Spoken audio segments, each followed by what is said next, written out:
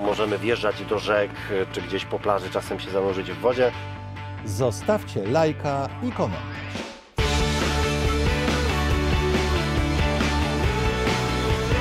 Dzień dobry, z tej strony Karol Lewandowski z busem przez świat.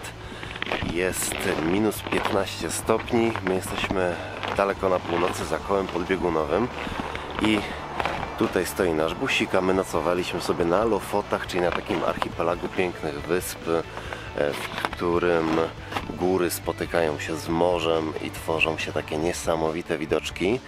I dzisiaj będziemy sobie dalej eksploro- eksplorować Lofoty.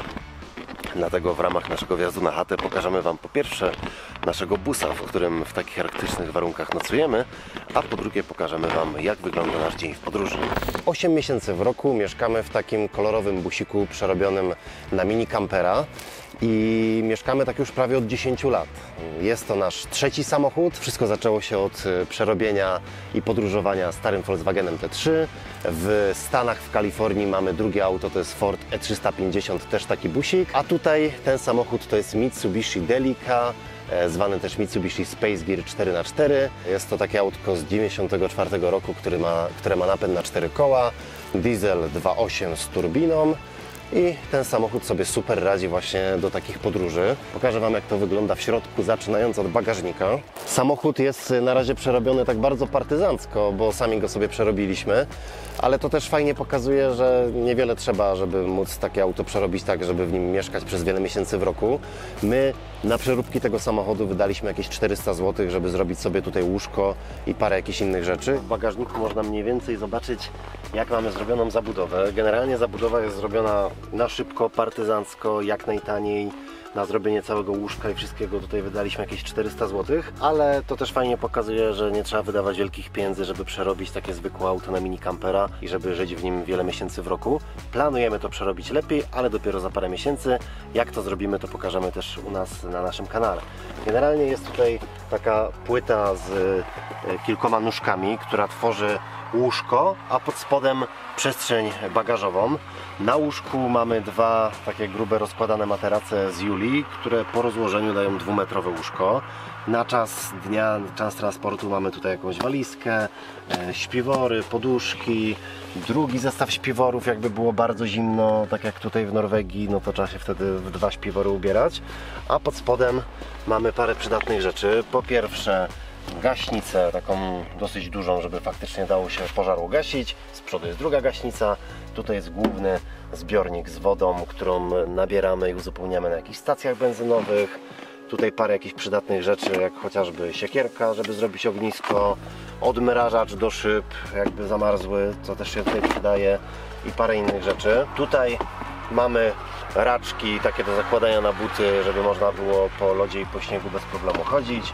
Apteczka, jakiś trójkąt ostrzegawczy, tu trochę takiego sprzętu e, samochodowego jak lina do holowania, e, opaski takie zaciskowe, którymi można właściwie wszystko naprawić. Kable rozruchowe, jakby padł, padł nam alternator, jakieś WD-40 i parę jeszcze innych przydatnych rzeczy. Mamy też ze sobą dwa zestawy łańcuchów na przód i na tył na takie gorsze drogi. I tam z tyłu jeszcze jest trochę jakichś innych bagaży i zapasów jedzenia.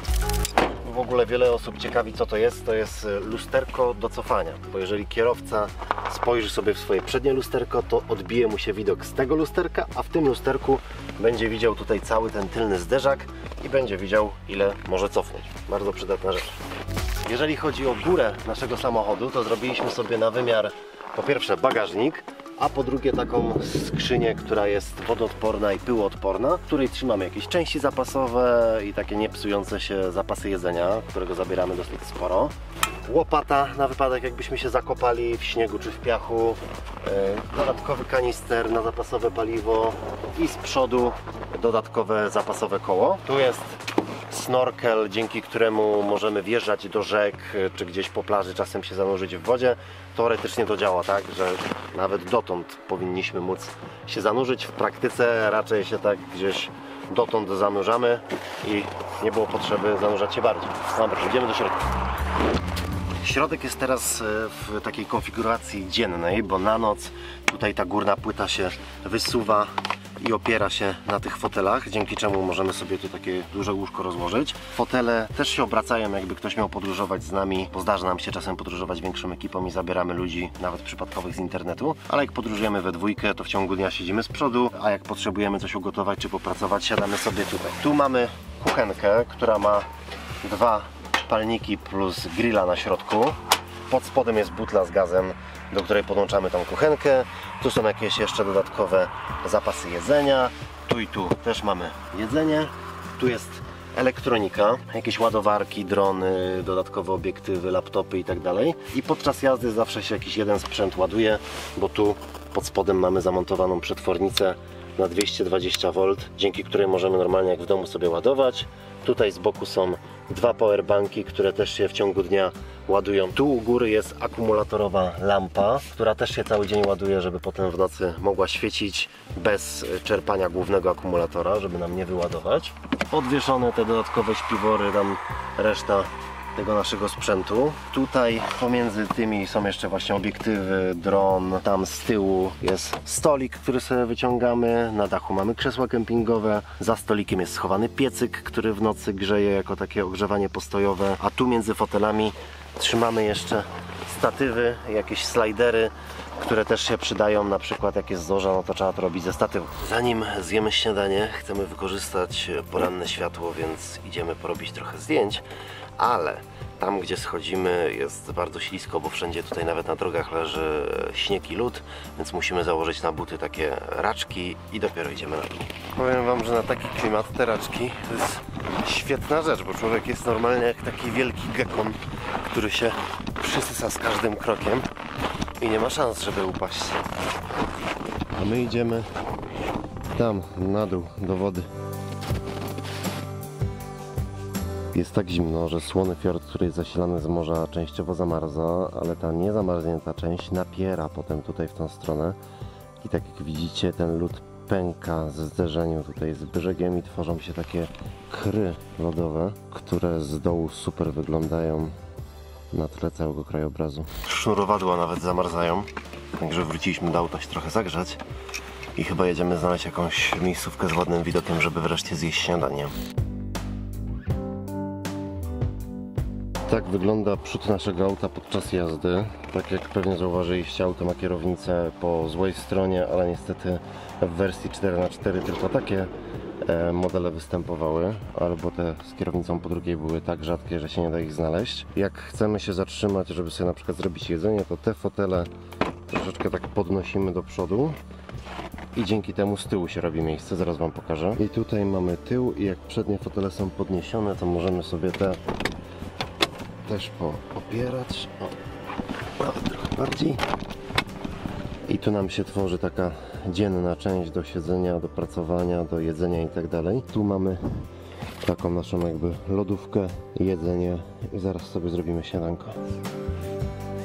Tu mamy taki podręczny zbiornik z wodą, który podczas jazdy jest tam wciśnięty przy ścianie, przy wylocie od ogrzewania, dzięki czemu ta woda, która normalnie w nocy zamarza, w ciągu dnia się nagrzewa i mamy potem taką cieplutką do, do mycia albo do zagotowania porannej kawki, herbatki. Tu tak jak widzicie pod kuchenką jest taka 3 kg butla, która spokojnie na taki nawet 2-3 miesięczny wyjazd na dwie osoby nam wystarcza.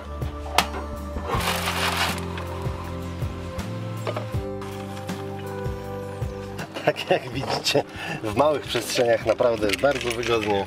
Nic nie leci, nic się nie wylewa, można sobie sterylnie, elegancko żyć. A generalnie kawę e, robimy w aeropresie, dlatego że e, nie trzeba mieć prądu, nie trzeba robić tego na osobnym ogniu, tak jak w takich małych kawiarkach, tylko po prostu się gotuje wodę i z tej samej wody można potem zrobić i, e, i kawę, i herbatę na przykład, a działa to tak właśnie, że się do takiego urządzonka tutaj wlewa i pod ciśnieniem przepychamy kawę przez filtr. No i kawa gotowa, teraz wystarczy wszystko osuszyć, posprzątać. Tutaj sobie jemy, a tam takie widoki za oknem. Przez najbliższy miesiąc podróżujemy sobie tutaj po arktycznej północy Norwegii i Szwecji. Jest to wyjazd, można powiedzieć, w ramach naszej pracy, bo jesteśmy zawodowymi podróżnikami, zawodowymi blogerami, youtuberami podróżniczymi i z tego żyjemy. Po prostu z tego się utrzymujemy, że podróżujemy, że opisujemy te nasze podróże, robimy zdjęcia, kręcimy filmy, piszemy potem książki, a ten wyjazd jest skupiony na tym, żeby właśnie trakcie zimy pojechać na północ, e, gdzie jest najwyższe prawdopodobieństwo zobaczenia zorzy. Jesteśmy w podróży już drugi tydzień. Jak na razie zorzy nam się nie udało zobaczyć, ale dzisiaj jest bardzo duże prawdopodobieństwo, bo jesteśmy już wysoko za kołem podbiegunowym, jeszcze bliżej bieguna niż przez ostatnie dni, więc może dzisiaj wreszcie będzie zorza. Wszystko zaczęło się tak naprawdę od tylko wakacyjnych wyjazdów jakieś 10 lat temu, kiedy kupiłem pierwszego busa i postanowiłem, że chcę zacząć podróżować bez biura podróży z niewielkim studenckim budżetem. I początkowy plan był taki, że będzie tylko jedna podróż. Podróż na zachód Europy, na Gibraltar, być może nawet do Afryki i z powrotem. A po powrocie mieliśmy to auto sprzedać. Kupiliśmy takiego starego busika Volkswagena za 2000 zł. Przerobiliśmy go na podróżniczego kampera. Objechaliśmy w miesiąc Europę i okazało się, że mieliśmy tyle przygód, tyle rzeczy się wydarzyło łącznie z aresztowaniem na Gibraltarze, z wymianą skrzyni z pomocą jakiegoś y, pastora w Alpach, z udziałem w Corridzie w Hiszpanii i po powrocie tak uwierzyliśmy, że możemy podróżować i tak nam się to spodobało, że postanowiłem, że będę to wszystko kontynuował, że busa nie sprzedaję i zacząłem podróżować dalej. I co roku wszystkie te podróże opisywałem na blogu i na kanale na YouTubie. Podróżowaliśmy bardzo niskobudżetowo, bo w niektórych państwach, na przykład w Australii czy w Stanach, wydawaliśmy jedynie 8 dolarów dziennie i z roku na rok byliśmy coraz lepsi w tym podróżowaniu jak najtańszym, dlatego podróżowaliśmy też coraz więcej. Na początku to było na miesiąc rocznie, potem na 2, 3, 4, 5. Dalej nie zarabialiśmy na tym podróżowaniu i na blogowaniu, tylko po prostu cały rok odkładaliśmy wszystkie oszczędności. Potem rzucaliśmy naszą pracę, jechaliśmy na kilka miesięcy w podróż, wracaliśmy i szukaliśmy po prostu nowej pracy. Lofoty, czyli te wysepki, na których jesteśmy, to miejsce nie tylko turystyczne, ale przede wszystkim to jest e, to są regiony rybackie. Większość ludzi jednak żyje tutaj z rybołówstwa. I akurat o tej porze roku rybacy wracają już z połowów dorszy i zaczynają te dorsze suszyć. I one wiszą tutaj na takich konstrukcjach, które zaraz Wam pokażę, ale przez to wszędzie czuć zapach śmierdzącej, suszącej się ryby. A oni to wszystko tak suszą i konserwują, bo Właśnie mnie ryba zaatakowała, bo to potem dużo dłużej wytrzymuje. Początkowo tego naszego bloga czytało dosłownie kilka osób dziennie i byli to po prostu rodzice czy znajomi, ale z tygodnia na tydzień, z miesiąca na miesiąc dochodziło coraz więcej czytelników. Ludzie zaczynali nas czytać po pierwsze dlatego, że mieliśmy dużo ciekawych przygód, spowodowanych głównie tym, że podróżowaliśmy albo niskobudżetowo, albo po prostu starym samochodem, który często się psuł i często trzeba było z pomocą lokalnych jakoś tego busa na różne dziwne sposoby naprawiać. A po drugie dlatego, że bardzo szczegółowo opisywaliśmy koszty tych naszych podróż i opisywaliśmy krok po kroku, jak samemu taką podróż zorganizować, jak zrobić to tanio, gdzie pojechać, gdzie się zatrzymać, jak nocować na dziko, za darmo, żeby to było legalne i tak dalej. I po pierwsze ta popularność rosła i już po pewnym czasie nas śledziło nie kilka osób dziennie, ale kilkadziesiąt tysięcy, a potem kilkaset tysięcy osób. E, A po drugie zaczęło powstawać bardzo dużo podobnych projektów i ludzie zaczęli kupować naszą książkę, przerabiać busa bardzo podobnie, nawet go malować podobnie. Potem strona po stronie jechali, próbowali powtarzać naszą trasę, spotykać tych samych ludzi, przeżywać te same przygody. I w pewnym momencie tych projektów było koło setki i jeszcze wtedy ogarnialiśmy mniej więcej kto jest kto i z której części Polski jaki projekt busowy pochodzi. Ale po kilku latach to już urosło do takiej skali, że dzisiaj sami nie wiemy, jak dużo takich projektów już istnieje. Przez jakieś pierwsze 5 lat w ogóle nie zarabialiśmy na tym naszym blogu, bo szczerze mówiąc nie wiedzieliśmy, że można na tym zarabiać i nawet nie wiedzieliśmy, że to co robimy to jest jakiś blog, a my jesteśmy blogerami, bo wtedy nazywałem to po prostu internetowym dziennikiem podróży i nie miałem pojęcia, że można na tym zarabiać. Wszystko zmieniło się e, jakieś 5 lat temu, kiedy wydawnictwo Sine Qua Non zaproponowało nam wydanie książki o początkach naszego projektu, o tej pierwszej naszej wyprawie. I ta książka super się przyjęła, stała się bestsellerem i bardzo dobrze się sprzedała. A po drugie, znajoma poleciła mi książki Jasona Hunta, który opisuje sposoby zarabiania na blogu, opisuje jak w ogóle działa blogosfera. I wtedy skumałem, że to co my robimy to jest właściwie blog, a my jesteśmy blogerami i że można na tym zarabiać. I dowiedziałem się też o takim konkursie, który się nazywał Blog Roku. Wystartowałem w tym konkursie, to był konkurs na najlepszego bloga w kilku różnych kategoriach. To było dosłownie miesiąc czy dwa po przeczytaniu tych książek. Wygrałem ten konkurs w kategorii podróże i wtedy wszystko nabrało rozpędu, bo agencje i marki dowiedziały się o naszym istnieniu, zaczęło spływać dużo propozycji współprac i to wszystko rozwinęło się do tego stopnia, że musieliśmy założyć swoją firmę, żeby to jakoś formalnie ogarniać i rzuciliśmy dotychczasowe prace w 100%, zaczęliśmy się utrzymywać z bloga, z podróży, z książek, z YouTube'a i większość roku zaczęliśmy spędzać właśnie w busie i na takim podróżowaniu jak teraz. Trzeba tylko pamiętać, żeby żółtego nie brać.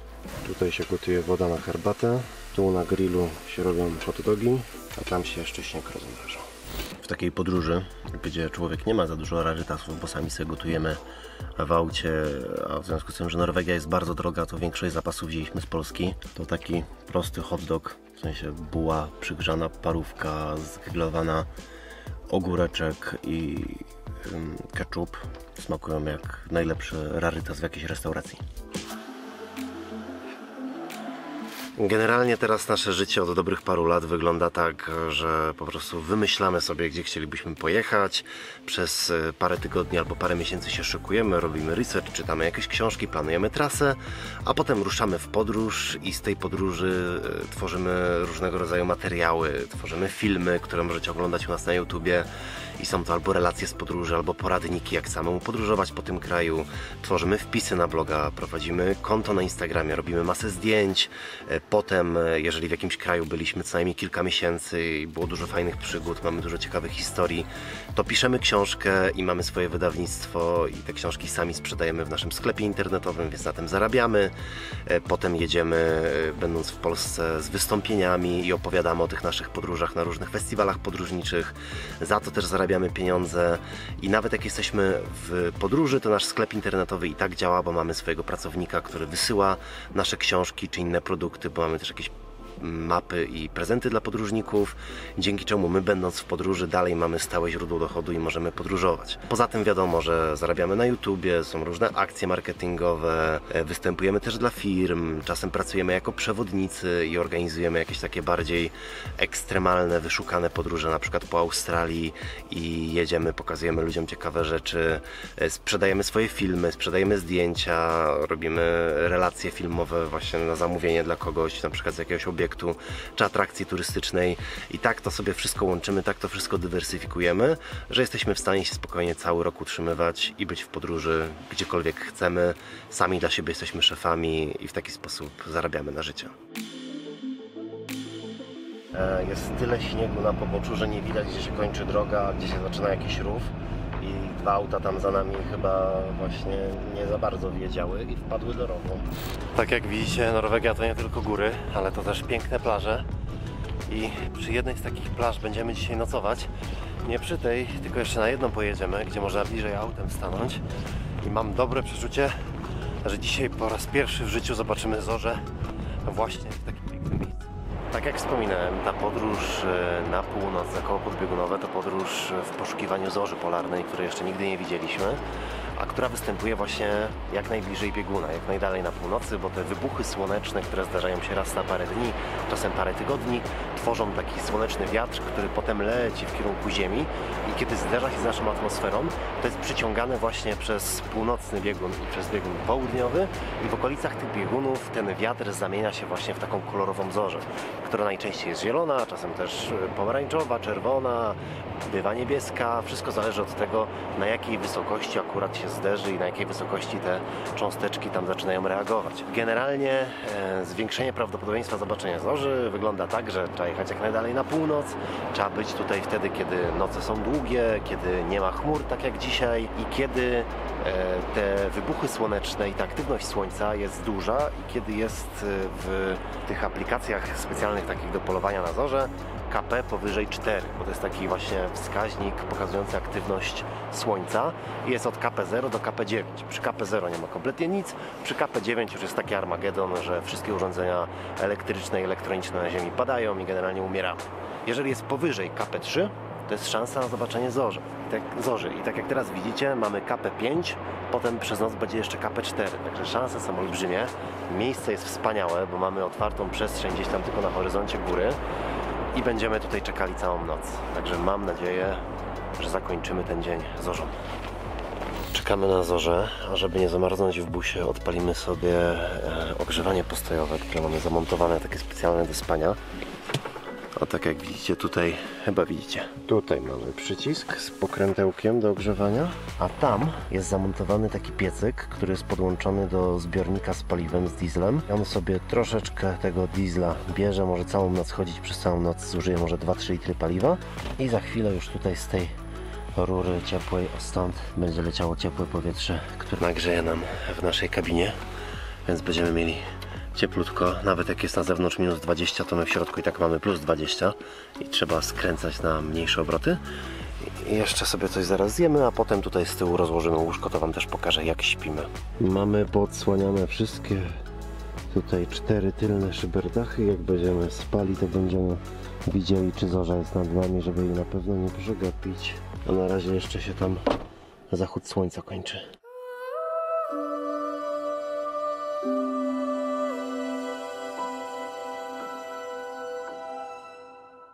Jest tak zimno na wybrzeżu, że ja zamarzam, a chłopaki postanowili, że w takiej lodowatej wodzie pouczą się surfingu.